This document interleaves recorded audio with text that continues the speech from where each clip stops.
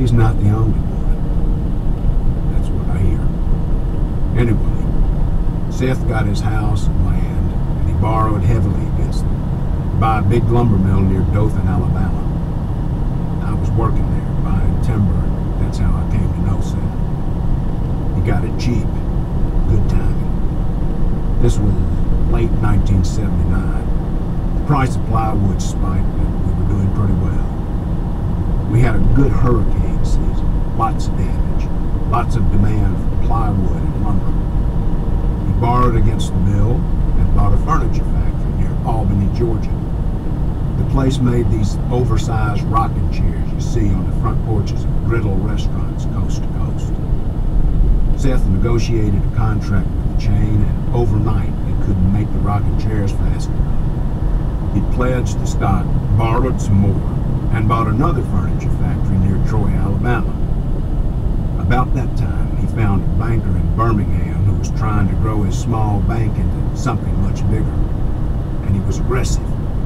He and Seth were on the same page, and the deals came one after the other. More factories, more lumber mills, more timber leases. Seth had a nose for sniffing out businesses that were undervalued or in trouble, and his banker rarely said no. I warned him against so much debt, but he was too reckless to listen.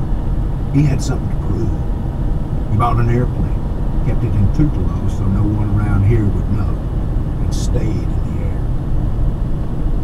Does this have a happy ending? Oh, yes. Over the past 10 years or so, Seth bought about three dozen companies, primarily furniture plants in the South, some which he moved to Mexico, but also lumber yards and sawmills, along with thousands of acres of timber, all with borrowed money. I mentioned one banker in Birmingham, but there were others. The bigger he got, the easier it became to borrow more. As I said, it was at times frightening, but the guy had never got burned. He didn't sell a single thing he bought, just held on, looking for the next deal.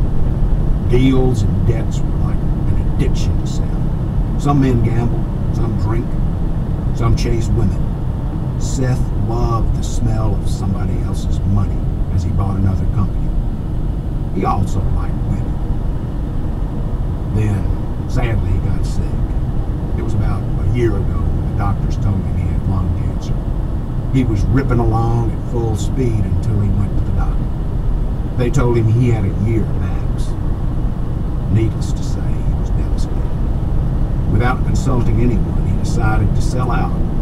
A few years ago, we found the Rush Law Firm in Tupelo, and Seth finally had some guys he could trust.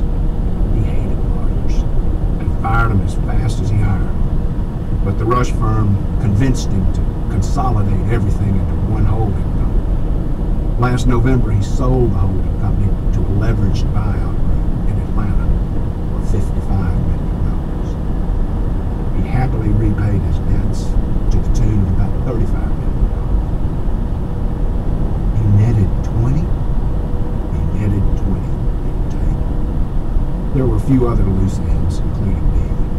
I had some stock in the holding company, so I walked away